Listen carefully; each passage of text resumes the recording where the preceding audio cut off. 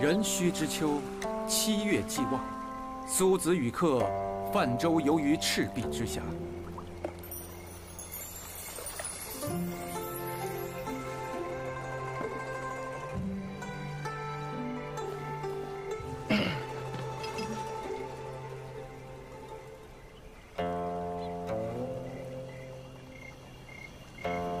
少焉，月出于东山之上，徘徊于斗牛之间。白露横江，水光接天。纵一苇之所如，凌万顷之茫然。浩浩乎如凭虚御风，而不知其所止；飘飘乎如遗世独立，羽化而登仙。朝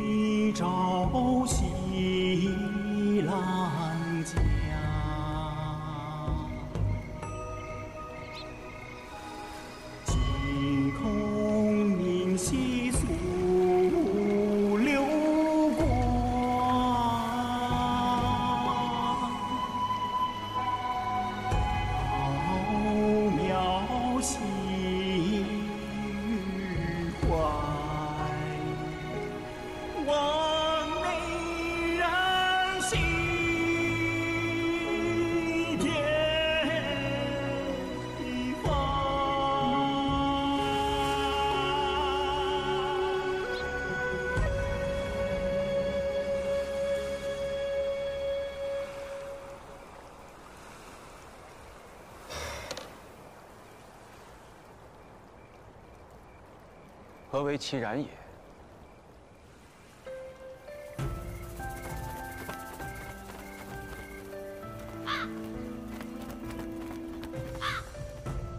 月明星稀，乌鹊南飞。此非曹孟德之诗乎？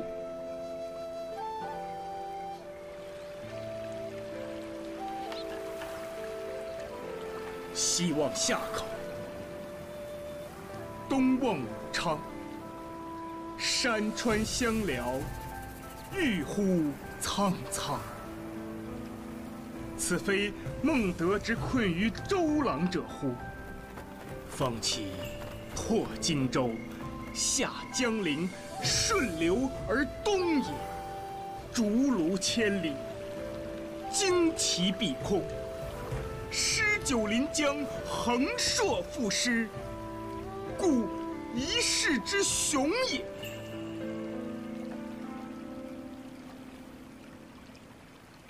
而今安在哉？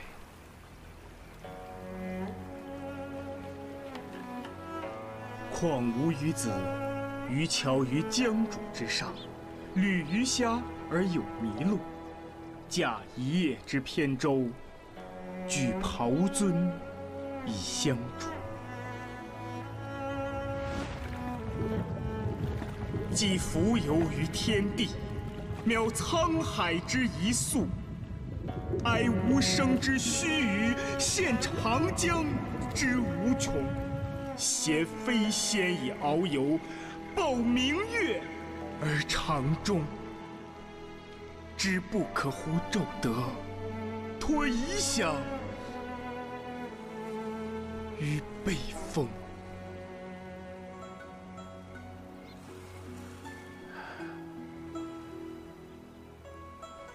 客亦知夫，谁与乐乎？逝者如斯，而未尝往也；盈虚者如彼，而足莫消长也。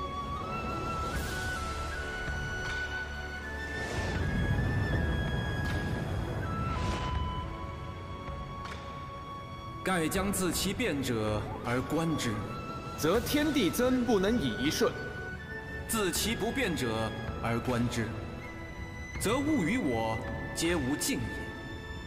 而又何羡乎？且夫天地之间，物各有主，苟非吾之所有，虽一毫而莫取。惟江上之清风，与山间之明月，而得之而为声，沐浴之而成色，取之无尽，用之不竭，是造物者之无尽藏也。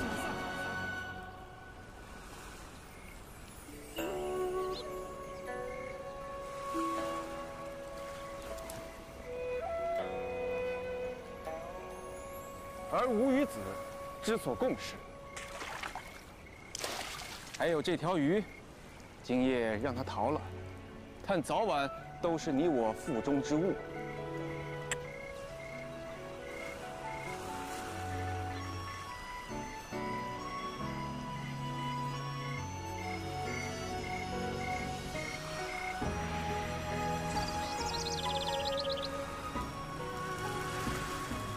苏轼居黄州期间，曾数次泛舟赤壁，先后写下了《念奴娇·赤壁怀古》与《前后赤壁赋》。赤壁三咏与同时期的《定风波》《莫听穿林打叶声》《临江仙》《夜饮东坡醒复醉》等不朽名篇，共同构成了苏轼个人文学成就的巅峰。